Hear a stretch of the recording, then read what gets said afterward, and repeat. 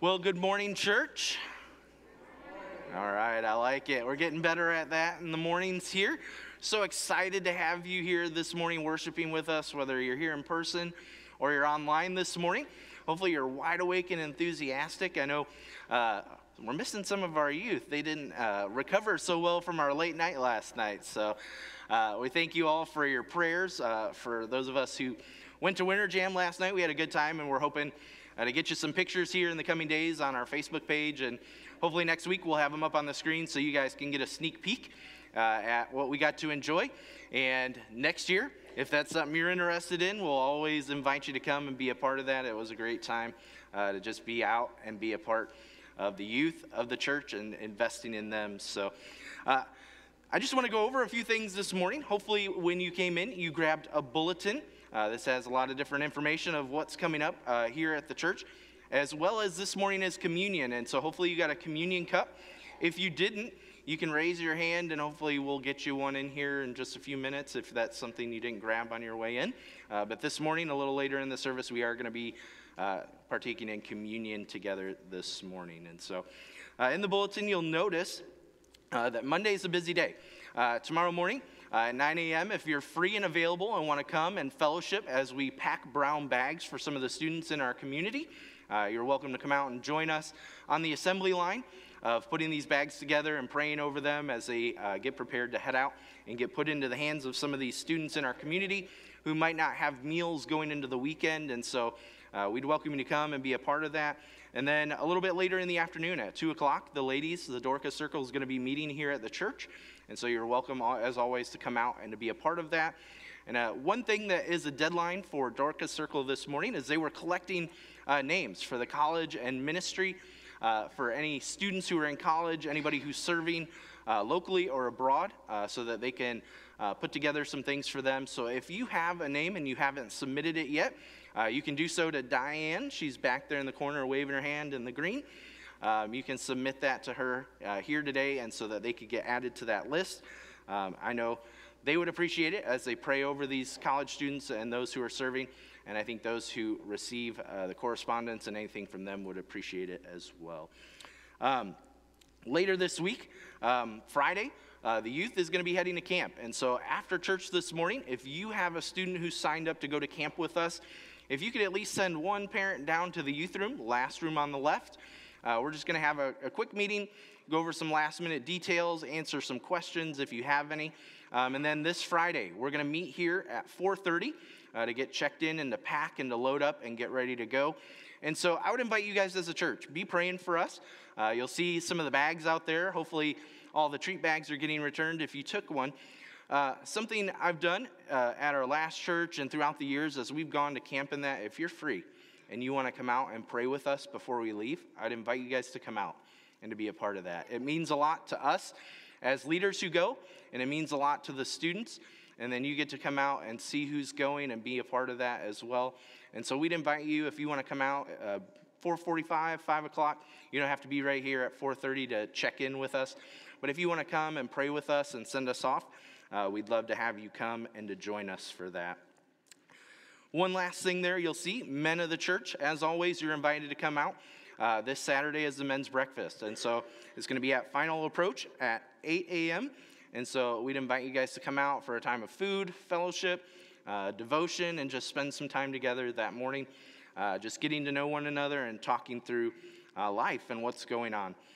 And then, as always, uh, we want to invite you stick around afterwards. Uh, we have Sunday school for each and every one of you to come and to be a part of and get plugged into. If you're not plugged into one yet, we just had two new ones start last week, and so if you wanted to check those out, they're in the bulletin uh, and it lists their meeting locations. And so the two new one is uh, the 30 life principles here in the sanctuary, and then the seven churches of Revelation at the end of the hallway on the right hand side.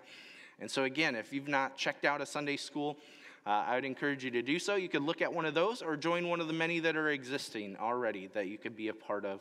And we'd love to have you to join us during that time. And so this morning, I'd ask, uh, as we get ready to worship, would you pray with me this morning? God, we are just so grateful for the things that we see you doing and the ways that we are working, the opportunities that we've had to uh, gather together, and the many more that we look forward to here in the future. Uh, we just pray, as always, that you would just continue to lead and guide us as a church, that you would just continue to build us together as a community of believers on fire for you, that we might be ready and prepared to, to go out and be your hands and feet here in this community. And we see some of the ways we're doing that even tomorrow through Brown, Brown Bag, uh, through opportunities for the youth, through the men's breakfast, through the ladies' meetings. Uh, we're just so grateful for, again, everything that you're doing, the ways in which you're leading and guiding us. And we pray that you would just continue to do that, to continue to go before us and prepare the way, and that you would just align our hearts to your will, Lord. And we just pray this morning that you would just be with Pastor Tom and Carrie and the worship team as they lead us here uh, to prepare us to receive your word together this morning. Again, we just thank you and we want to give you all the praise and the glory here today, Lord. It's in your name we pray. Amen.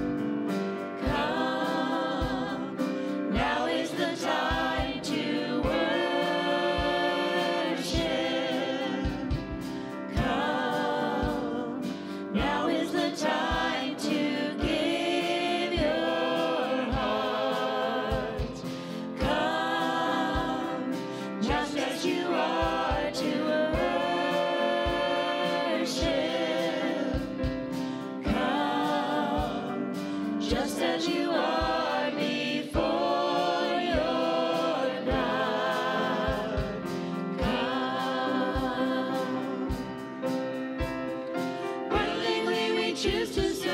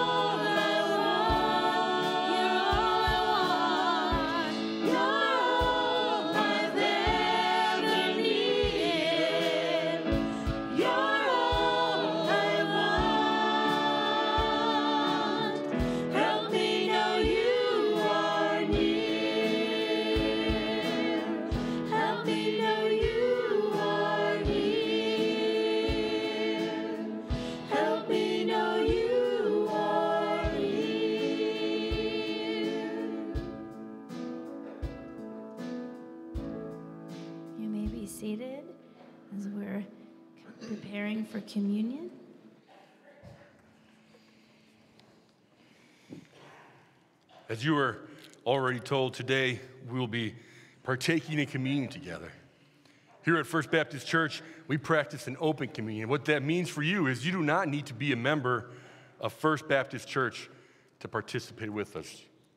You may only be a member of the big church.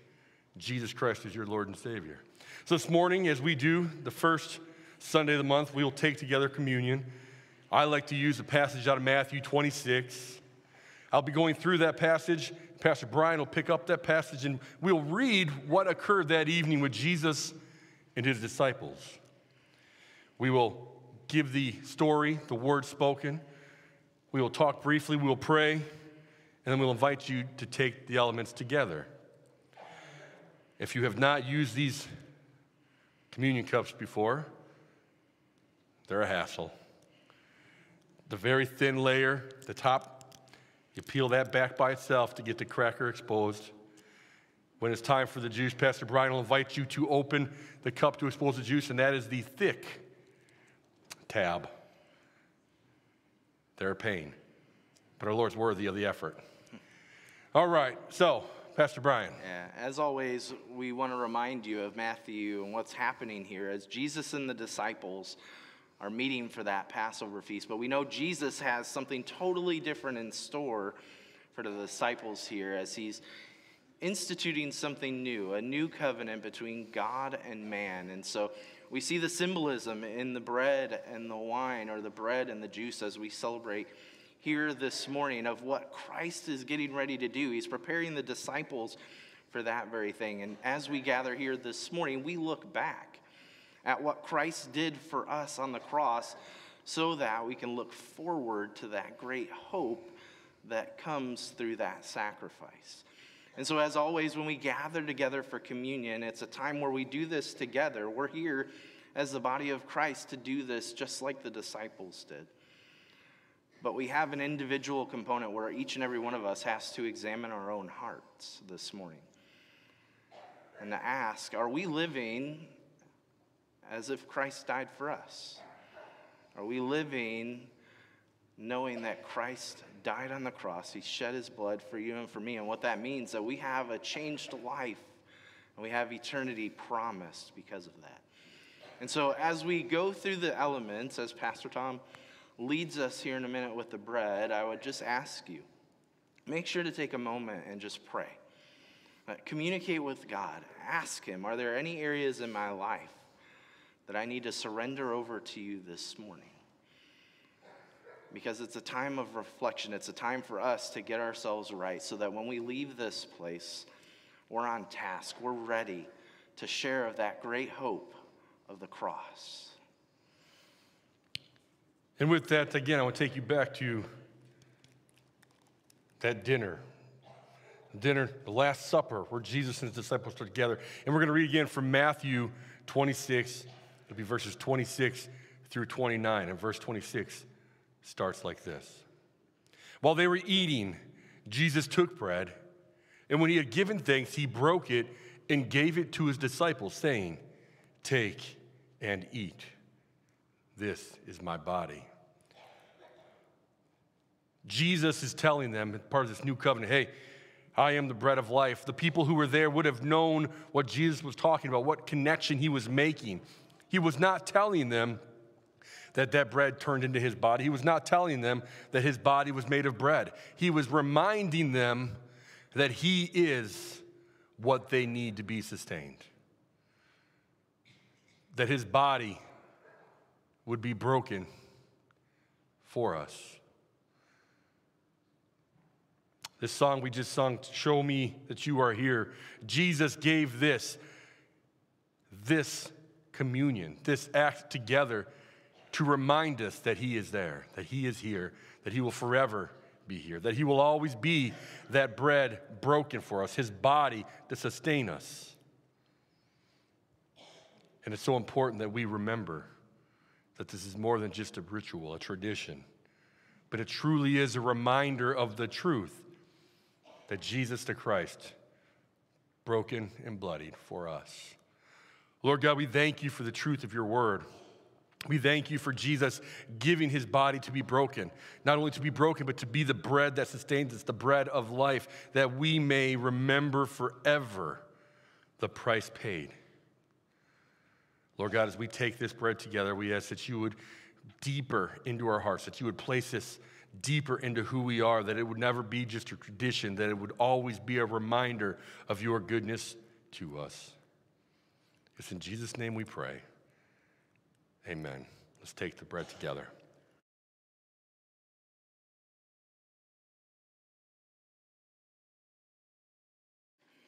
As I continue to read on in the passage, you can go ahead and peel back that layer for the juice. It says, Then he took a cup, and when he had given thanks, he gave it to them, saying, Drink from it, all of you. This is my blood of the covenant, which is poured out for many, for the forgiveness of sins. I tell you, I will not drink from this fruit of the vine from now until that day when I drink it new with you in my Father's kingdom. So we know that this cup represents the shed blood of Jesus Christ. No longer would animal sacrifices need to be done. Christ is that once and for all perfect sacrifice, that thing which even those animal sacrifices couldn't do. They served as just a reminder of their need for a Savior. And now we have that perfect Savior who came, who endured the cross, who rose again three days later. And we have this beautiful new covenant that we can celebrate in, that we can live in each and every day. But it took Christ's giving of his life. And what a picture and a reminder that is. That beautiful sacrifice, which was made for you and for me for the forgiveness of our sins. And so let us remember this morning that sacrifice and what Christ did to establish that connection for us between us and the Father. God, we are just so grateful this morning as we celebrate communion, as it was mentioned, Lord, I pray this isn't just something that we do out of habit or ritual, but every time. It's something that we pray about, that we think about, that we ask, that it would be a moment that we're brought back to you, that our life is refocused and reoriented on that beautiful, perfect sacrifice that was given. And I pray that none of us would take that for granted that it would be the thing that we remember each and every day as we rise of what was given so that we could have a life and not just here but life everlasting. And so we just give you thanks this morning lord for your shed blood for your son christ on the cross. And we just pray this all in your name. Amen. Will you drink with me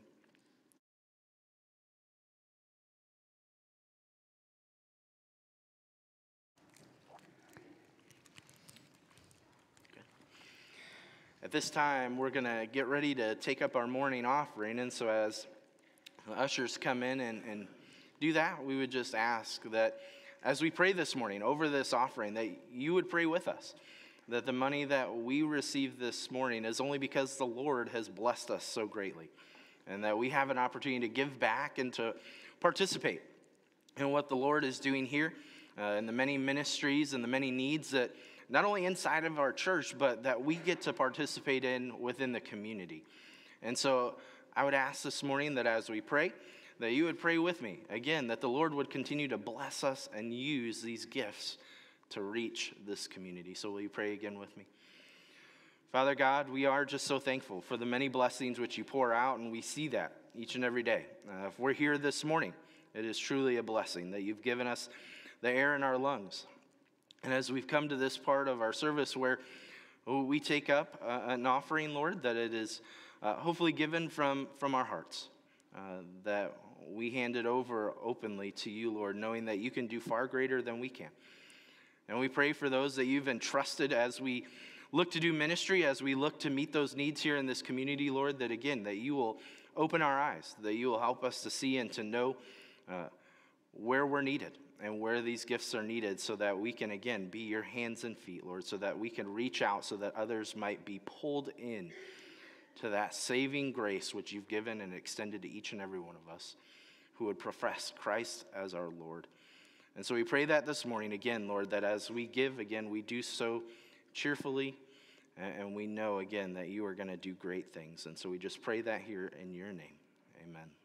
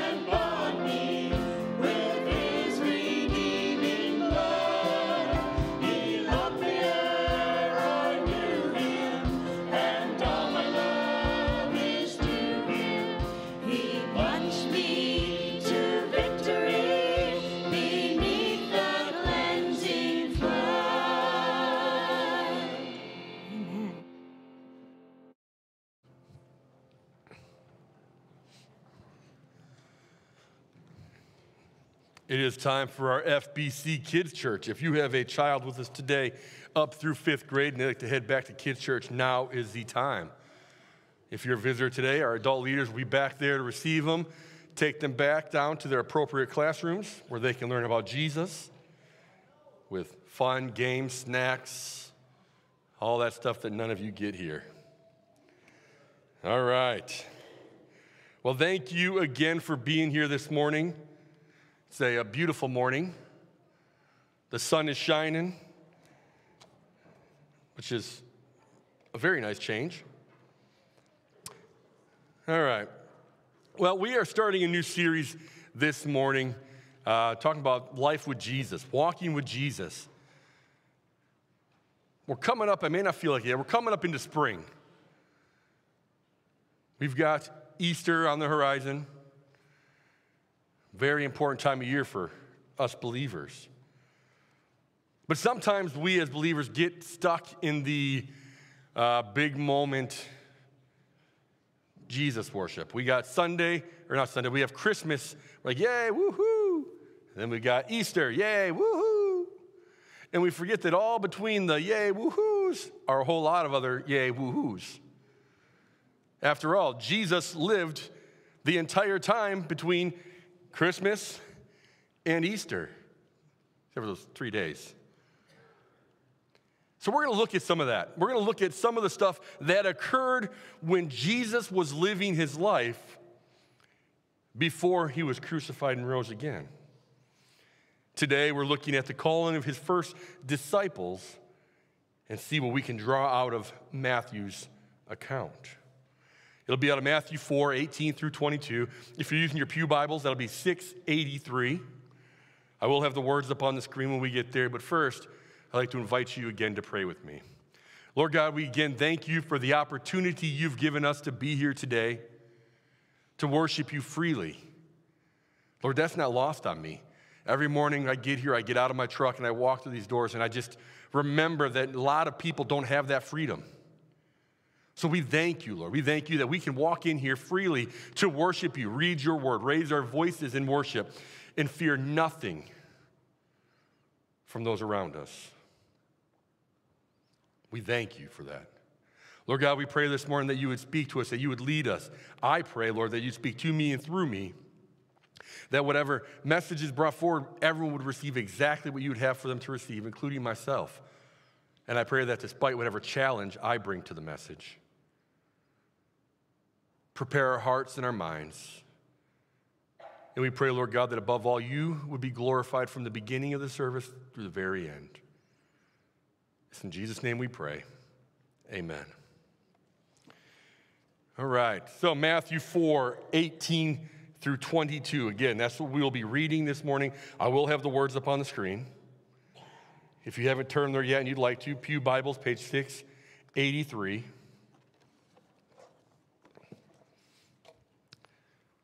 Oh, there we go. Now let us receive the word of our Lord. As Jesus was walking beside the Sea of Galilee, he saw two brothers, Simon, called Peter, and his brother Andrew. They were casting a net into the lake, for they were fishermen.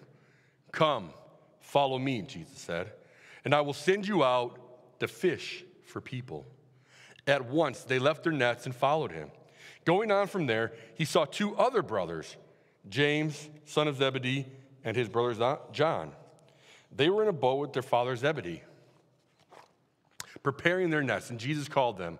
And immediately they left the boat and their father and followed him. Thank you, Lord, for your word. So that's a very small selection of scripture. It's titled in a lot of Bibles as Jesus calls his first disciples. And that's what we just read about Jesus calling his first disciples. So, what else can we draw from that? Well, there's quite a bit we can draw from that without removing the subject of calling his first disciples. We'll look really quickly at key point number one Jesus met them where they were, or called them from where they were. We see many times throughout Scripture the occurrence of Jesus going to the people, or just being among those same people. He knows where they are and he goes. He knows what they were doing and he still goes. He knows when they're going to be doing it and he's there. And he goes and meets them. He doesn't sit behind some gate in some office and say, When you're good enough, come to me. He doesn't separate himself and say, You folks are not educated enough. You folks don't make enough money. You folks hold a different perspective than me on something. Stay away until we're right on time, right in alignment with me. Instead, he goes to them where they are. Why is that important?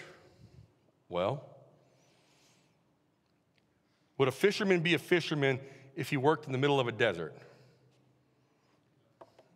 Probably not a very good one if he was one.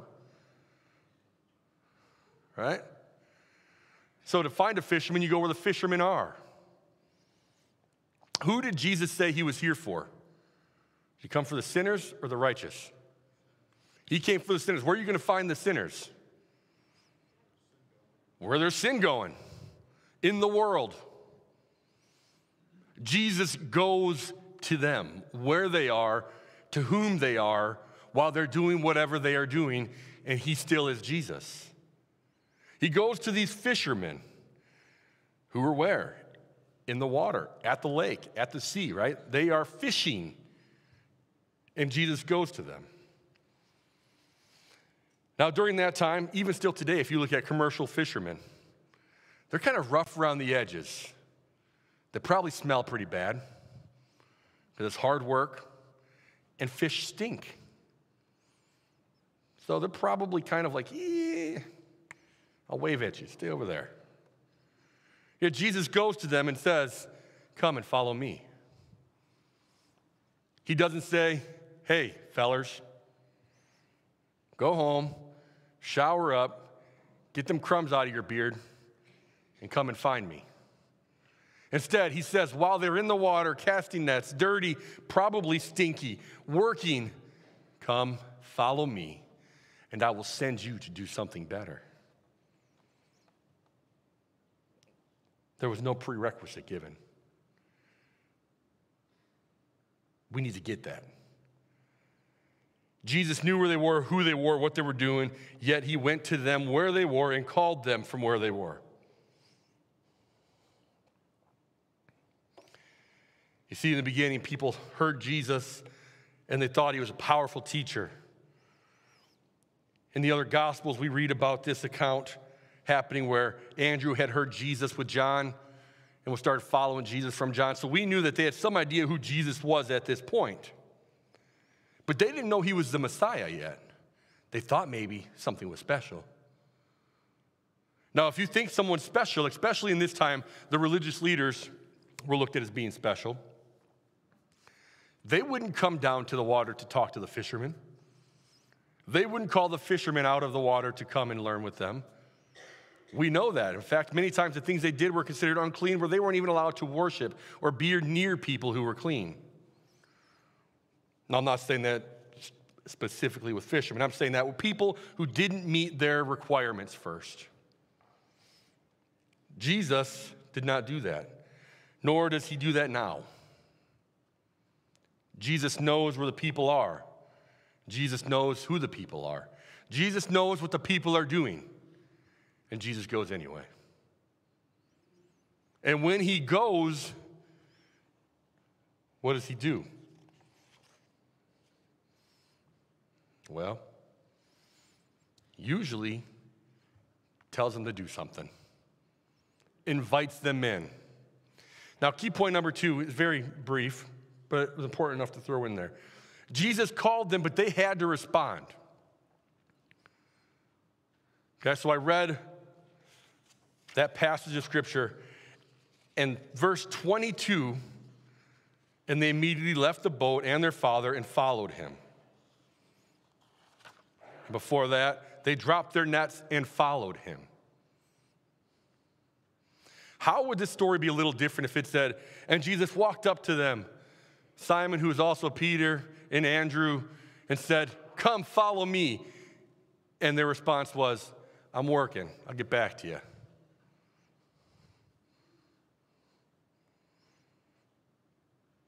Or if we read, James and John were saying, Yeah, I don't think so. We're set to be pretty good once my father goes. We take over the fishing business. We'll see you later. It changes things. Now, it doesn't change things in the fact that Jesus still went to where they were, to whom they were, and invited them in to come follow me. But they had to do something. They had to say yes.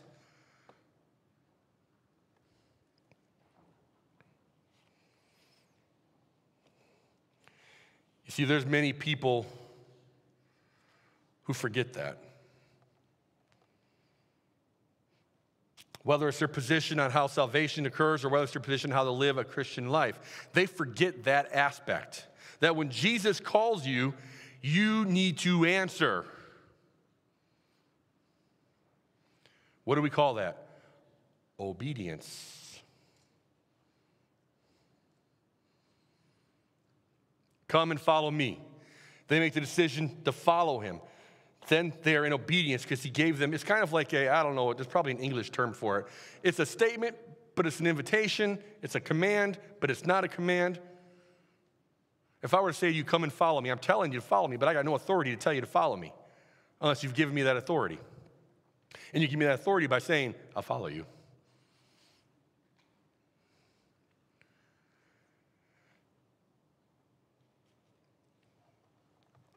Jesus said, Come and follow me, and I will make you fishers of men. I will have you fish for people. We know the Holy Spirit is present because if, if somebody would say that to me, I would go, Yeah, fish tastes way better than people, I think. You would have to understand there's a spiritual element to that conversation. So the Holy Spirit works first. God does his thing, he's working. Jesus says, Come and follow me. They decide, Yes, I'm going to come and follow you.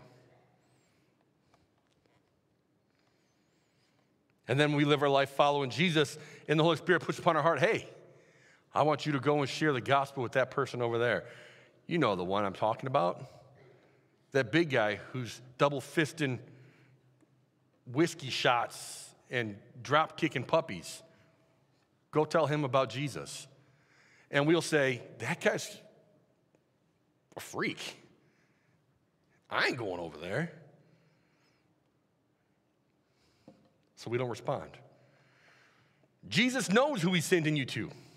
He knows what that person's into. He knows what that person's doing. He goes to them where they are. I've told you guys I don't even know how many times now. One of the scariest times in my life had nothing to do with combat. It had to do with telling a little girl on a swing that Jesus loved her. God knew who this little girl was. God knew that she knew that Jesus loved her. He knew all that. He knew her life. And he sent me anyways, and I was terrified, and I didn't want to do it, and I fought it. And when I finally did it, I found out that she knew that too. I went and told her, Jesus loves you. Yeah, I know. Duh. What? Okay, sometimes you're doing what God tells you to do, not for that person, but for yourself. He knows where He's sending you. Are you going to be obedient and respond to His leading? That's the question you have to ask yourself. Are you going to respond to his leading? When he calls you and says, hey, come follow me. That's not a come follow me and then sit still. He's not saying, come be part of my club and find the comfiest seat on the couch and just hang out in the clubhouse. Instead, he's saying, when you decide that you want to follow me and you get up and you follow me, I will make you fish for people. And We go to key point three. Jesus called them to action, not passivity, not comfort. Why were fish, fishermen chosen here? Well, there's several conversations that can be had. You see the correlation? Fishing for fish fishing for people. I read the other day uh, a beautiful example that it just, it just caught me. It's simple. And I've preached about this kind of before. When we fish nowadays, there's lures for everything. There's lures for everything water temperature, species of fish, type of lake, vegetation or no vegetation, rocky bottom, sandy bottom. There is lures for everything, artificial things to trigger a bite from the fish you are targeting. So much so that you can say, I'm fishing for bass, I don't want any of those carp. I got to keep it at this level in the water in this presentation. Or I want a carp, which is a bottom feeder. I don't want these other fish, so I'm going to fish with this bait at this location to make sure I get what I want. That's not how fishing was back then, folks. It was I'm making my net. I'm going to go to the water's edge or get on a boat into the water, and I'm going to throw this heavy weighted net. Watch it make a big circle, splash down, and as it sunk, I'm going to reel it in as fast as I can, and I hope there is fish in it. I may have a bass, I may have a walleye, I may have bluegill, I may have a carp, but I got stuff in there. Successful trip. I may do the same exact thing. I may make that net, spend hours making this net, get out there on the water, and I may cast that net out as far as I can, and I may reel it in as fast as I can, as hard as I can. I'm sweating. I get to the boat, I pull it up, and it's empty same amount of effort was required. The catch was not the same. Fishermen understood this. They continued to fish because they understood this. One more cast may be the cast that brings in the beautiful catch. I'm not going to pick and choose who I share the gospel of Jesus Christ with. Instead, I'm going to cast the net of truth and I'm going to reel it back in. And what comes with me is what the Lord has brought to me because He put me where He wanted me to go. He said, Go cast your net over here. And what's caught is because He told me to cast there. I still have to work. I still have to cast that net. I still have to reel it in. I still have to repair my net.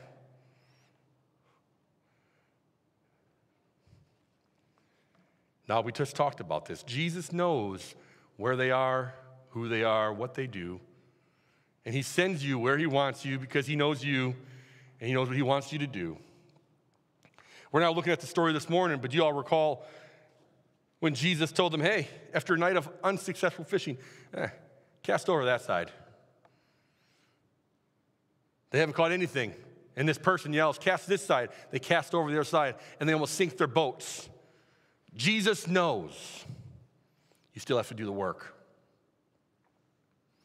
Jesus is Jesus. He could have said, Hey guys, snap your fingers three times and click your heels, and your boat will be full of fish. And they could, and that boat will be full of fish.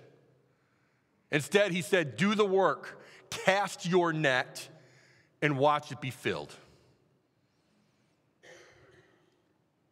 There's a saying, you miss every shot you don't take. You miss every fish you don't cast for. Every cast you don't throw are fish that are gone. And if you're a fisher of people, what does that mean?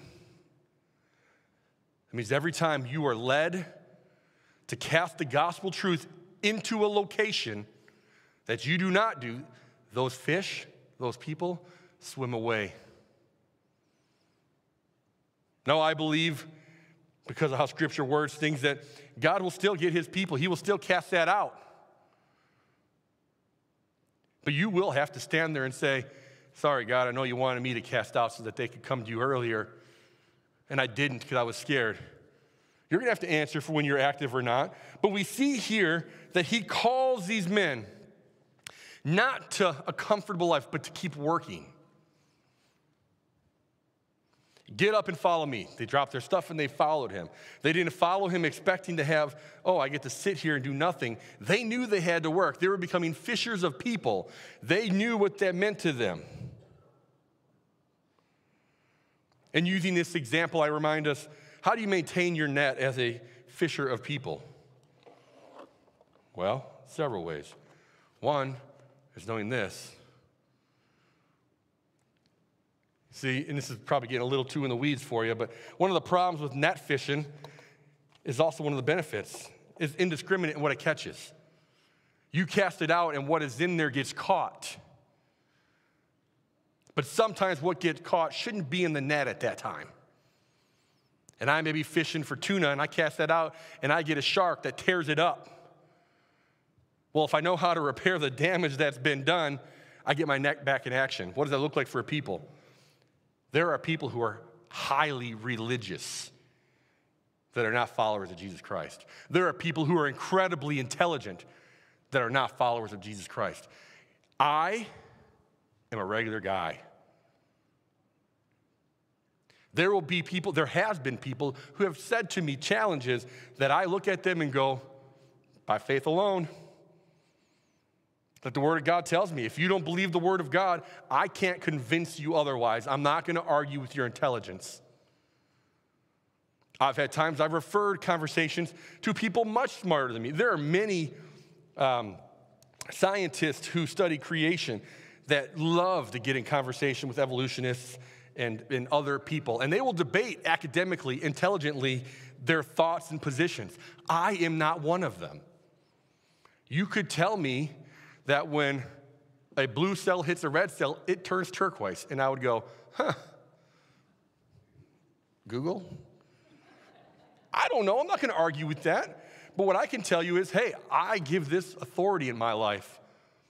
This tells me an account of creation, and that's what I believe because I see that Scripture is true, and I see how other people who are much smarter than me can even show points to that. And I say, I believe. When I'm able to say that, I'm no longer ripping my net going, oh, that's true. Well, what about this? And I'm doing more damage. No, instead, I repair my net. Lord God, you know, I, I didn't know how to answer that. You sent me and I did it. My faith strengthens a little bit more. My net gets a little bit tighter, a little bit stronger. As Christians, many times we fall into this category of, ah, I know where I'm going. And that's good enough. Or we get the other mindset of, he'll get his anyways. I don't have to do it. Or maybe even not that extreme. Maybe it's, I'm not good at talking in public. I'm not good at talking to people about this. Boy, I really don't know Scripture if they have questions. And instead of getting the Scripture to help answer those questions, we say, somebody else knows better. And we go back to doing what we want to do. Whatever we're comfortable with, whatever we're used to.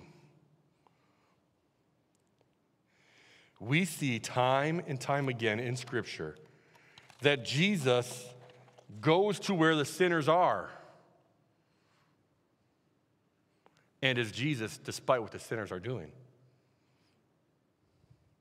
Jesus was called out by the religious leaders. Your followers are sinners and you're just going to be there with them? We have people go to Jesus' followers. Why does your teacher sit and have dinner with these sinners and these tax collectors? How can he be a part of this? Oh, he's there. He must be condoning it, right? He's with them.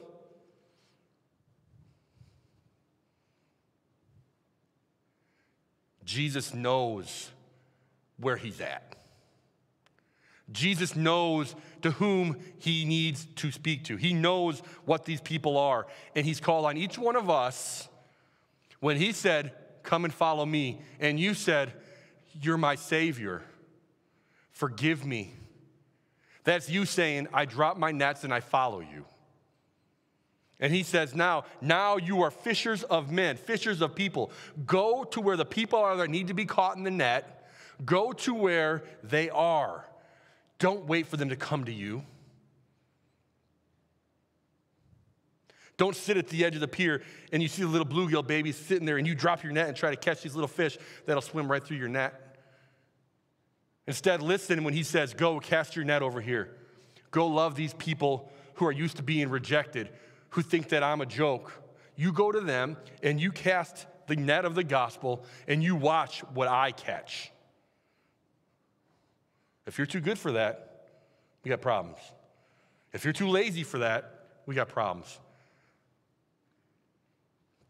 He called fishermen.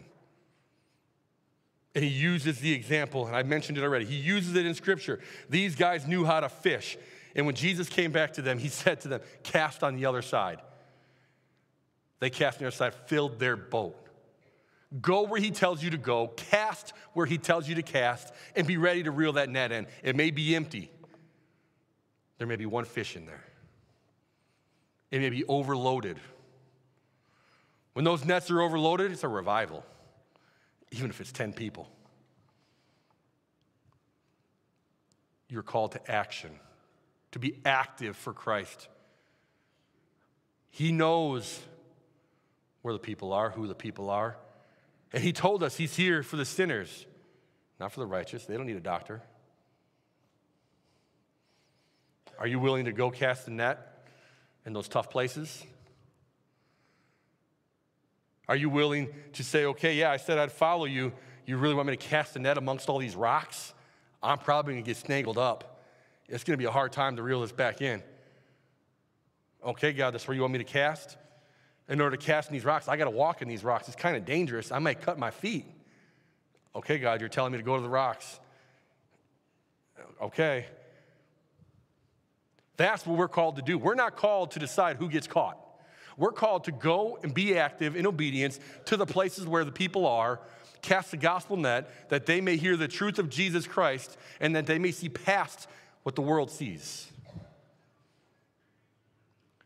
We must be active for Jesus. We're going to pray as we get ready to close out. And if you're sitting here this morning and you know that Jesus Christ has called you out, that Jesus had come into your life, you had an encounter and he said, Come and follow me. And you said, Yes. And you dropped your old life and followed him, then you better be doing the same thing you did then today. You better be willing to go where He's telling you to go, to be active as you serve Him, to cast the gospel net to the people He wants to hear. Or you're not being obedient. And if you're here this morning, you're going, I have no idea what you're talking about, but this Jesus guy sounds pretty cool. You're right, he is. And if you're sitting here right now and you're having that thought, if you're having that, you know, I want to know more about Jesus, I, I, I want to have a Savior, guess what?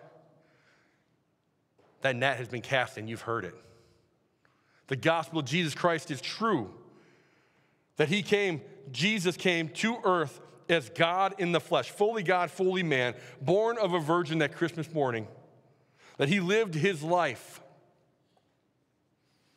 and was ultimately killed hung up on a cross where he died. Three days later, he rose again, conquering sin in death, so that you and me could reestablish relationship with God the Father. Because we are born into sin, separate from God. We live our lives as sinners, separate from God. What is sin? Separation from God. A lot of times the world will tell you this is sin, that's sin. That's not really sin, but this is sin. Sin is something that separates you from the relationship with God. The Holy Spirit will work. Scripture tells us what a lot of the sins are. But it is so much more important to understand that it is something that separates you from relationship with God. You recognize that you are living in sin, but you don't want to be, that you want that relationship with God.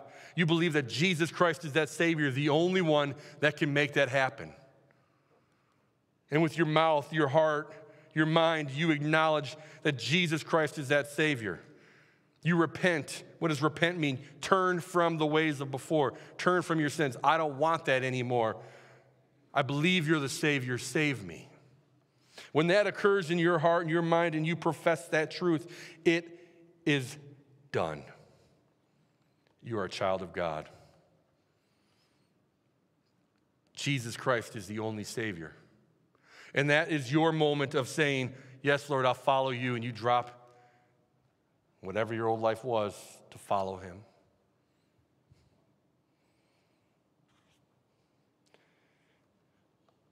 Is one of the most simple things that can happen, one of the most profound things that'll happen, that leads to one of the most difficult things that'll happen. When you receive Jesus Christ as your Lord and Savior, you will encounter challenges. It'll be hard. But that's why he built the church and gave us a church that we may be together in our mission to share the truth of Jesus. You can make that prayer wherever you sit. You can make any prayer wherever you sit. You can ask Jesus Christ to be your Lord and Savior right there in silence, and He'll hear you. If you do that, I ask you to find another believer to share that with because it's hard. And we want to celebrate with you and walk alongside you. Or you are welcome to come forward and I'll pray with you, or Pastor Brian, or anybody else. We will sit alongside you and we will pray with you. But if you're sitting here and you hear Jesus saying, Hey, come and follow me, you have to respond. And that is either to say, Yes, I will follow you, or that's to say, ah, I don't want it right now. But once you do, you better get moving, you better be active, and you better be ready to share the truth of Jesus Christ in your life because that's what we're called to do. Lord God, I thank you for today, and I thank you for everyone who's here in this building and everyone who is at home worshiping with us. We thank you for your word and the truth of your word, the gospel of Jesus Christ, that you are greater than sin and shame that we may be forgiven. We thank you for that truth that you've given us. We thank you for the example you've given through your word that we are to be workers for Christ, approved workers for you, constantly on the move, sharing the truth with this world, constantly going to the places that the world says are dark and dirty and gross, and those sinners where they are. Remind us of your word that we are told to go where you tell us to go, that you know who these people are, where they are, that we are simply instructed to work, to be obedient, to cast the net of the gospel and watch what you fill it with. We thank you for that, Lord. In Jesus' name we pray. Amen.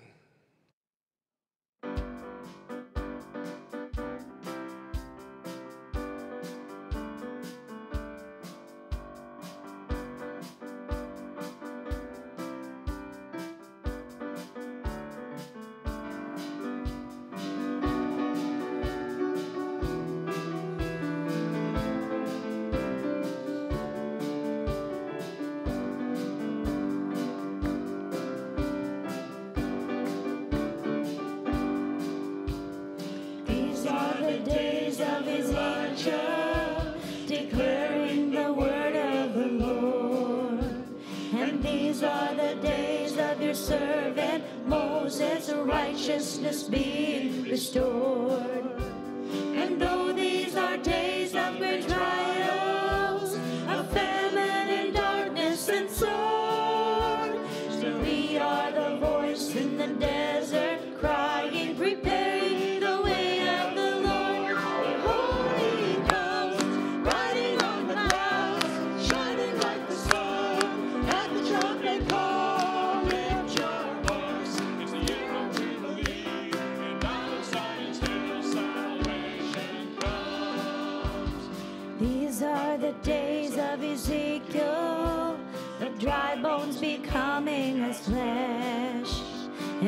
These are the days in servant David rebuilding the temple of praise.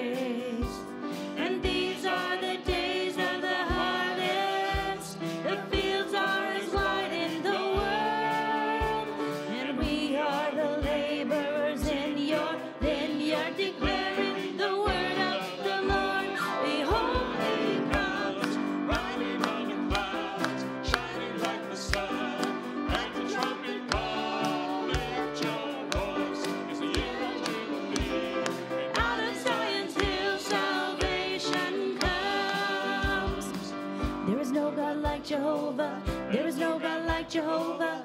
There is no God like Jehovah. There is no God like Jehovah. There is no God like Jehovah. There is no God like Jehovah. There is no God like Jehovah. Behold,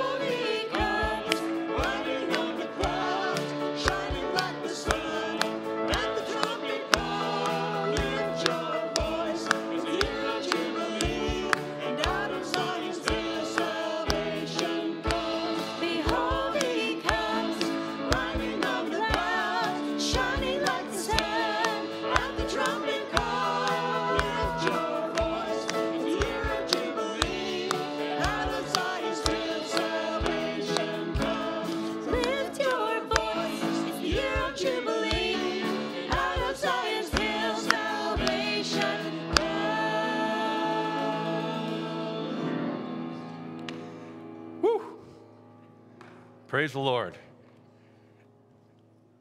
If, if, if you're not excited to serve the Lord worthy of that worship, I tell you what, folks, figure it out. Praise the Lord. I want to thank you again for being here this morning. You being here is an act of obedience.